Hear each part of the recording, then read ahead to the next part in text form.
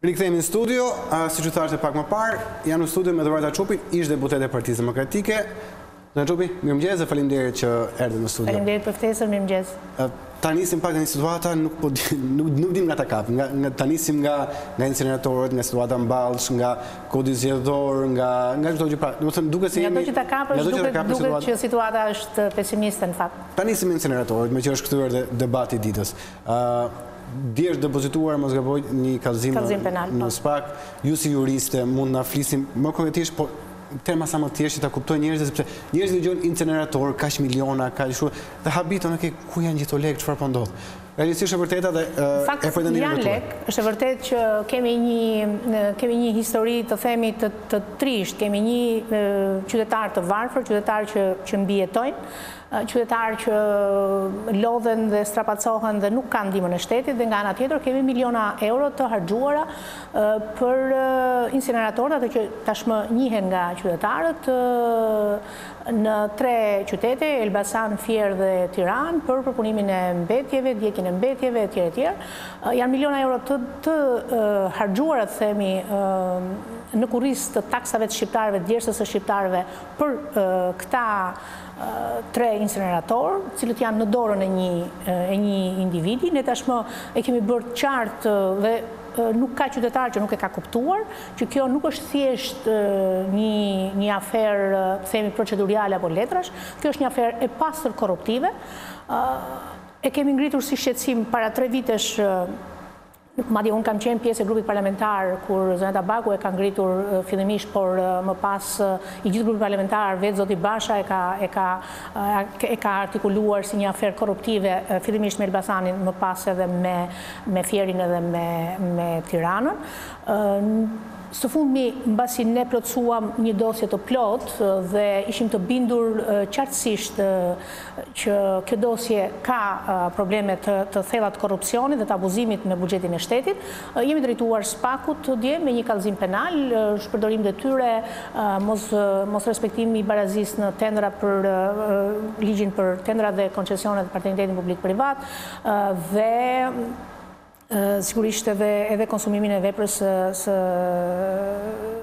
grupit strukturuar okay, kjo më duket pak pra jo nuk nuk duket ne besoj që te kallëzimi penal i kemi të detajuara atë çfarë ne pretendojmë ndoshta dakord dakord tingëllon pak rëndë tingëllon rëndë për çdo qytetar tingëllojnë rëndë edhe milionat e shpërdoruara Janë vepra penale të konsumuara në gjykimin tonë. Ne kemi depozituar, kallëzimet penale i kemi shoqëruar dhe me dokumentacionin shoqërues. Unë uroj që SPAK të veprojë dhe të të të hetojë, të hetojë në të mirë të të të mirës publike, të shërbimit publik, të hetojë për t'iu dhënë një një besim qytetarëve që reforma në drejtësi këtu funksionon. Meqë jemi te inceneratorët dhe tek Tirana.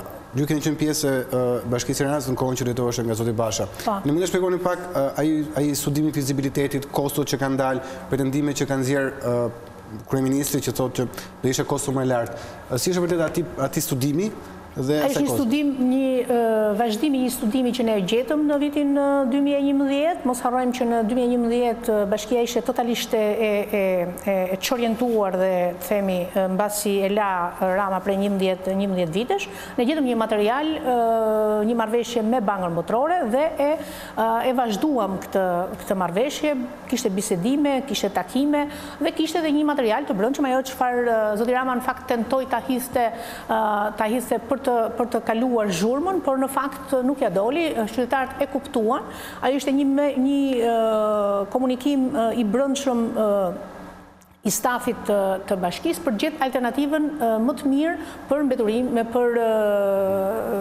për përpunimin e mbetjeve. Shqiptarët e panë qartë që nga tetëdhjetë e katër euro që është sot, pra pastrimi dhe depozitimi, Bashkia e Tiranës në kohën e Lulzim Bashës ju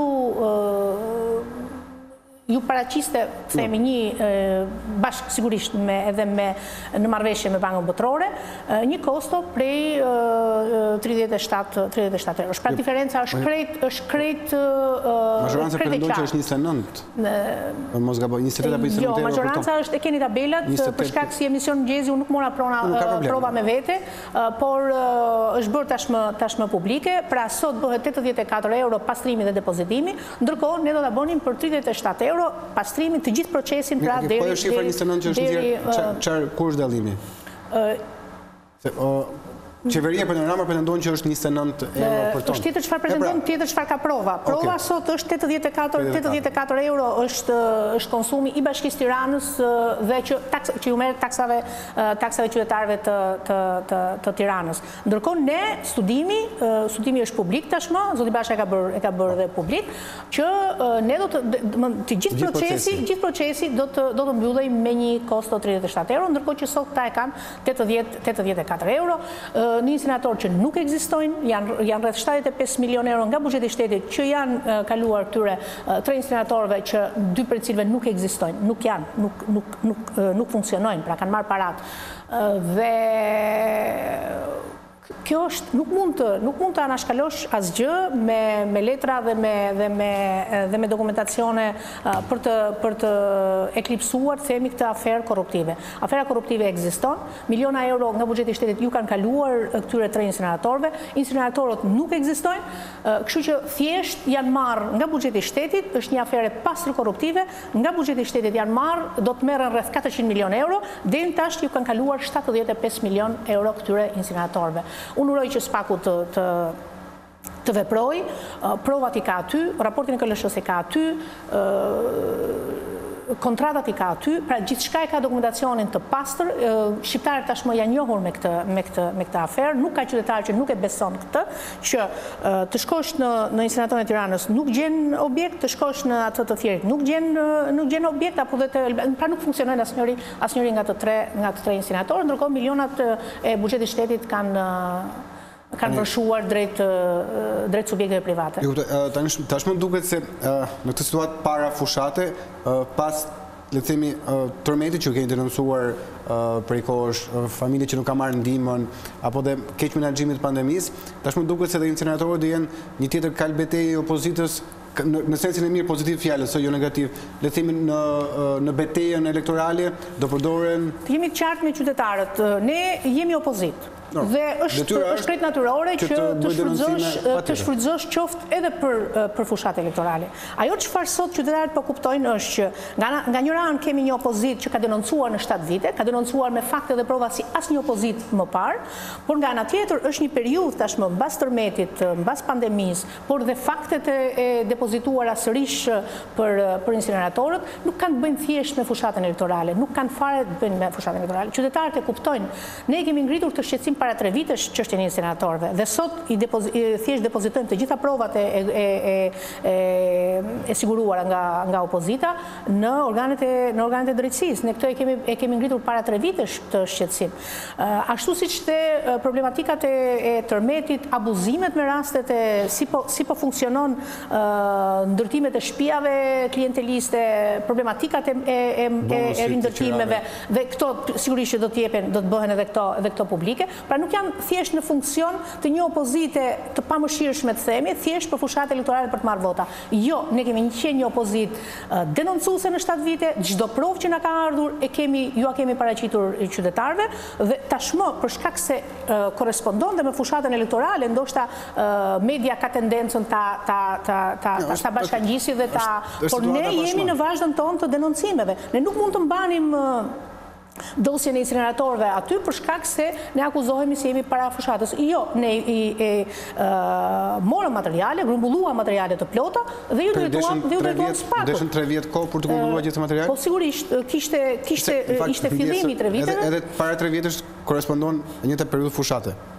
Jo, më rezulton e kundërta, ne denoncimet kanë qenë mbas votimeve të vitit 2017, sepse kemi qenë grupi parlamentar, mbaj mend që ne kemi e kemi ngritur ngritur si shqetësim në në parlament. Ndërkohë, janë siguruar edhe edhe dosja e plotë, qoftë raporti i kontrollit të shtetit apo kontratat apo apo procedurat. Është një aferë korruptive, nuk i shpëton dot. Sado që ta shtyjë SPAK-u, sado që ta shtyjnë organet e drejtësisë, kjo është një aferë që po hetohet së fundmi ose jemi drejtuar për t'u hetuar së fundmi, por ndërkohë rastin e ngjashëm kemi Zimbabve apo në Verona që po, që ndërkohë ka filluar hetimi, kështu që nuk i shpëton dot një afere të pastër korruptive në në kurriz të taksave shqiptare. Nga ana tjetër kemi target grupe të pafund Që luftojnë për të marrë djersën e ballit, luftojnë për të marrë pagën e tyre, rasti, rasti në Ballsh. Me, me, me, pra, me, është... rasti, rasti në Ballsh. Ë, është një situatë e mbartur ndër vite. Historikisht dimë që rafineria në Ballsh ka pasur probleme, qoftë me pronarët, pra nuk është se është një situatë e krijuar tashmë 7 vite, unë kam përshtypjen që mund të ketë më shumë se 7 vite Sepse asnjëherë, që mbas. Ky relativizmi nuk më, nuk është, nuk është. Ndoshta qofsha unë i gabuar, por është një, është një situatë e mbartur, kështu që. Njëzet e gjashtë pagat e dimë që nuk janë marrë vitet e fundit, ëh. Jo, jo, jam shumë dakord, por. Pra janë nëntëqind familje, nuk janë nëntë apo nëntëdhjetë. Problemet e naftëtarëve kanë qenë gjithmonë. Po patjetër, patjetër. Kanë qenë gjithmonë. Atëherë, hajde të diskutojmë, t'i, t'i, t'i zgjasim dhe t'i lëmë në këtë statu quo problemet e naftëtarëve apo t'i zgjidhim?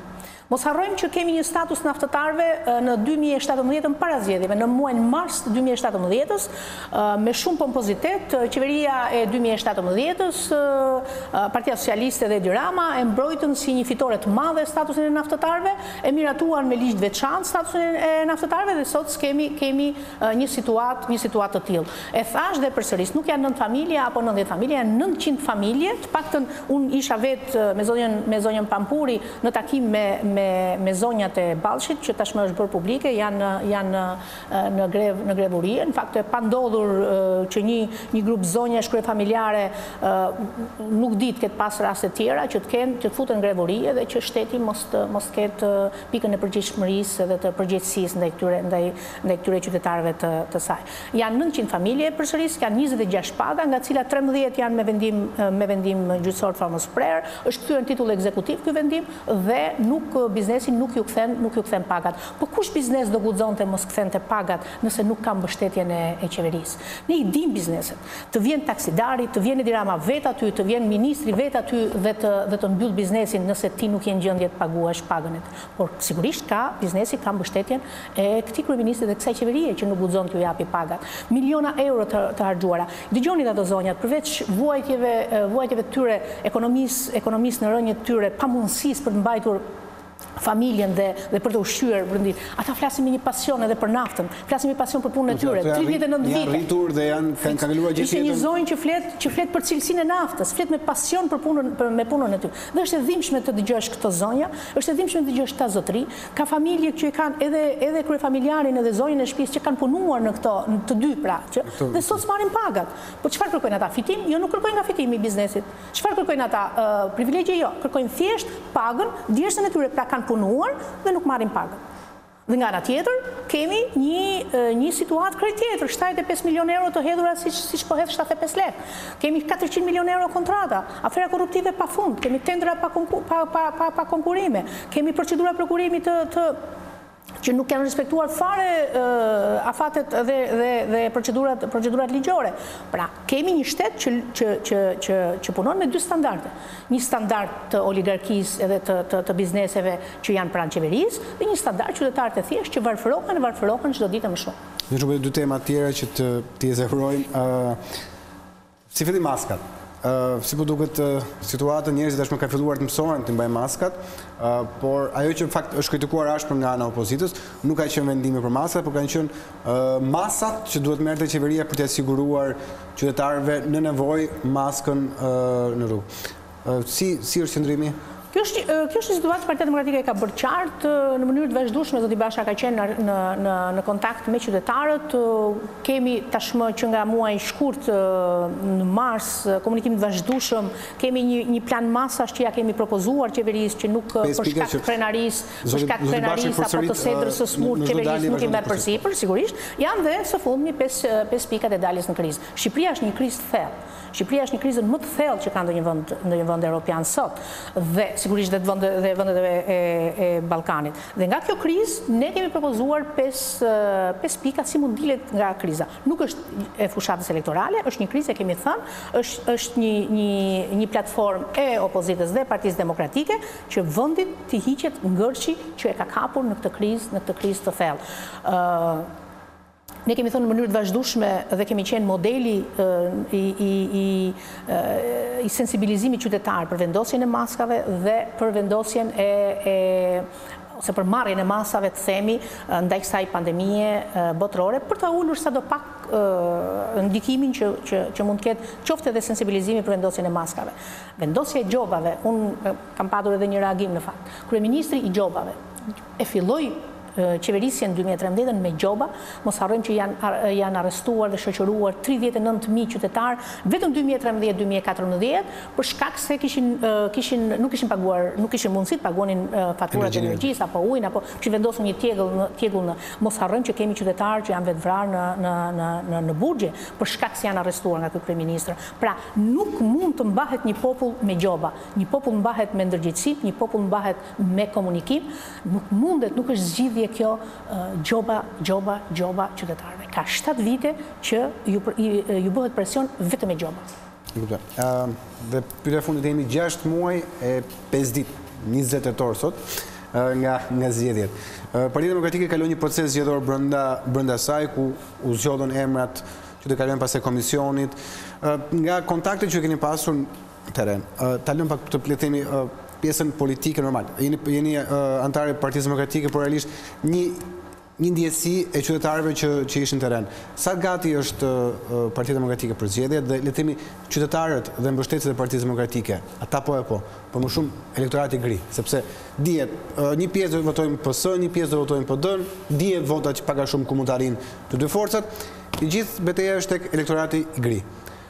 Si është situata tek ky elektorat, sepse atë duhet synoni besoj unë. E kuptoj, e kuptoj. Sigurisht, po. Ne kemi në vitin dy mijë e shtatëmbëdhjetë, me gjithë deformimin e votave, me gjithë presionin tashmë të konsoliduar, sepse edhe të provuar të të në perceptim nga nga Partia Socialiste, ne Partia Demokratike ka fituar rreth pesëqind mijë, katërqind e shtatëdhjetë mijë vota të demokratëve dhe i kemi marrë katërqind e shtatëdhjetë në një presion të llahtarshëm, presion të tmerrshëm të pushtetit të asaj kohe vitit dy mijë e shtatëmbëdhjetë.